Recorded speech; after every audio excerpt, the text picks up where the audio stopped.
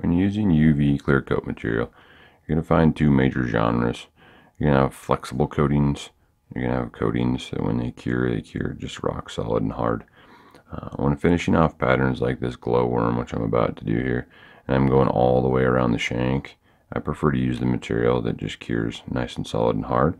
Um, but for example, if I'm curing uh, the wing case on a, a nymph pattern, like my 307 here, I prefer to use the flexible material that'll kind of bend and move with that uh, as I fish it and use it. The most important thing though with UV coats is the light that you use.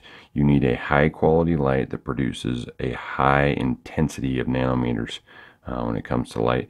I really had good luck with this uh, Deer Creek Pro Torch. Very, very high intensity, cures it very, very quickly. Uh, a lot of the, the kind of knockoff cheapo little UV flashlights that you buy won't fully cure it. And uh, if they do, it takes a lot longer amount of time.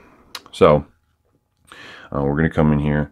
I, I just have a beat up old bodkin uh, that I use for this. I like to have something uh, that I can apply a drop or a little bit of the UV to so that I can spread it out. Um, and the, the, the rule here, the big, big rule, which I think is a key rule with all things in fly tying, is that less is more. So if I start out with a smaller amount or minimal amount of material, I can always come back and I can add more as I spread this out. If I ever go too much and I cure it, I can't go back, especially with the UV material here. So with the glowworm, all I'm doing is I'm spreading this out. It's kind of a gooey, um, higher viscosity liquid before it cures.